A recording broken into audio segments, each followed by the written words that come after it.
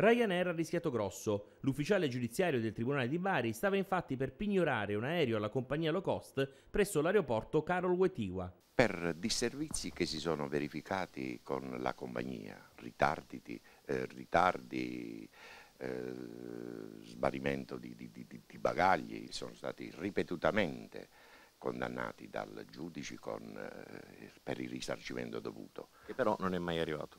Se ne sono altamente eh, infischiati per cui siamo stati costretti all'azione risarcitoria con l'esecuzione coattiva. L'avvocato Michele Tarquinio, su mandato di Adiconsum, aveva chiesto l'intervento dell'ufficiale giudiziario del Tribunale di Bari dopo diversi solleciti ignorati dalla compagnia low cost, condannata ad una decina di compensazioni pecuniarie. A poche ore dall'esecuzione coattiva che l'ufficiale giudiziario doveva eseguire all'aeroporto di, di Palese, eh, ci hanno contattato telefonicamente pregandoci urgentemente assicurandoci in mille modi che il, il risarcimento totale doveva avvenire e che era stato già predisposto il tutto. Ryanair ha effettivamente provveduto ai pagamenti nelle ultime ore, dunque il pignoramento è stato definitivamente sospeso. Adiconsum segnala però che ci sono almeno un altro centinaio di azioni di recupero in atto contro tutte le compagnie aeree, di cui almeno il 40% contro Ryanair.